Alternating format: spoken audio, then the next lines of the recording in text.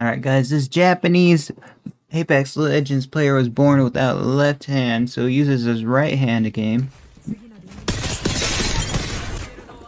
Oh, born without use in his left hand, I apologize. But now that is pretty awesome, yo. That this is where mouse keys come in, like uh, you know the mouse button, if he even uses them. But playing with controller as well, that is pretty awesome, guys. Look at these, look at these, just look at these confirms here.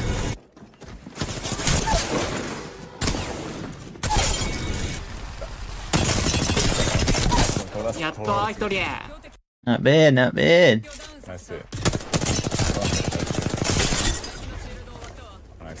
Yeah, he seems to be using like a button on his mouse, like buttons on his mouse. Nice.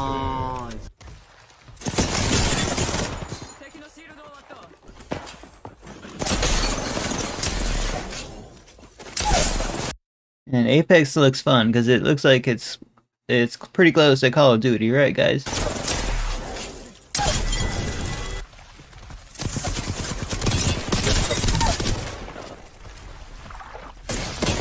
Yeah, guys, I'll I'll leave a link so you can watch the rest of the video, but says playing um one hand is not always possible on controller. you'll use the left hand to hold the controller steady. Um, NMK has bound everything to his mouse, including movement. Now that is awesome, bro. That is inspiring, guys. Check it out in the description.